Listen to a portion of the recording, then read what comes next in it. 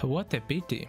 Hello everyone and I finally came out of winter hibernation. In this video I will tell you about easy to install, uncensored alternatives to ChatGPT which you will be able to run on your own hardware, fully locally. And unlike Chat with RTX, which is a total gimmick, we don't need any specific hardware and we also will talk about Chat with RTX soon since we will compare the things I will install to the functionality of Chat with RTX. First thing you need to do is to download the exe file with the first link in the description. It's the application with which we will launch our models and the second file is actually our model, similar to one that uh, Nvidia puts with their chat with RTX, uh, but with the only difference, this one which we download is uncensored. Great news! After you downloaded the model, we can already test it. Launch Kobold exe file, after which choose ROCm if you're using RX 6600 or newer card. I'm using RX 7600 so I'm using ROCm.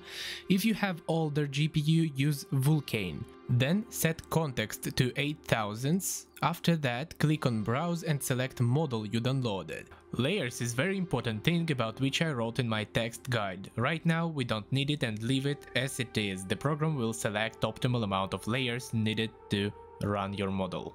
Press launch and wait a little bit. If you are loading a model from HDD it will probably be slow. If you are loading model from SSD it will be very fast, again depending on your hardware. A web page should open in your browser and you will be able to write something to a bot, although yes it's not beautiful, the design is let's say politely, not really great and we will change it in the future, but here we need to test, test our speed and test is our model work. We type it how to cook for example or just hello and it answers us. Of course it's just a joke but still. But to have more functions I'm actually pretty sure that these functions exist in Kobold UI, I just can't find them. Uh, but anyway, uh, I want more functions, I want better UI so I download frontend and it's called the Silly Tavern. How to download, how to install, the link to the detailed guide with images will be in the description. It's not hard, it will take around 5 minutes of yours. So you downloaded everything installed and we are in Silly Tavern. First thing you need to do is to connect it to Kobold. Just choose the same settings with me, it will be same, including URL, URL will be same and press connect. Next thing you will want to do is to create or to import a character. I imported ChatGPT 4.5, you can download it in the description or just copy the text like here, just create your own character, it's not important. But what is important is advanced formatting, where you need to choose a preset and here it will be better to create your own preset, it's written in human language, or to copy it somewhere from the internet like I did, or download one I provided in the description.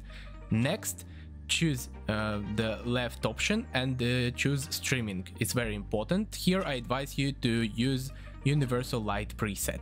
We are ready to speak with our AI and to import here documents. Let's start. Uh, for example, choose this dummy.pdf and ask uh, what this PDF is about.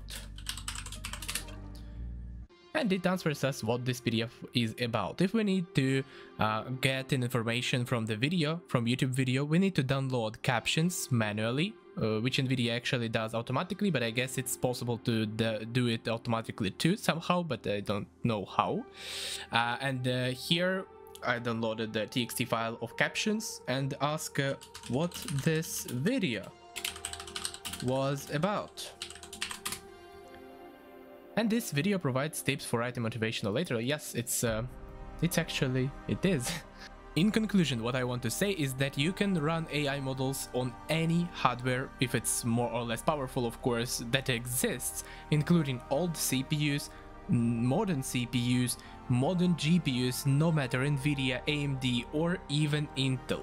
And this is very easy to try out, so if you can, please do it, because it's very important in the modern world to keep up with the technologies.